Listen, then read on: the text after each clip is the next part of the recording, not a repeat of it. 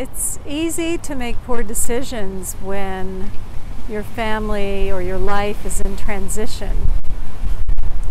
Couples who are getting a divorce sometimes can't figure out how to take actions that are mutually beneficial because they're caught in the drama of it.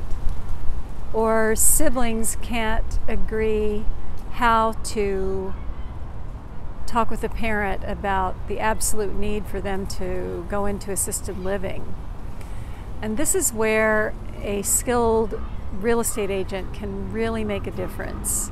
When you have somebody who is looking out after you and your family's needs, someone you trust, and someone who you can sit down with and review these tough choices.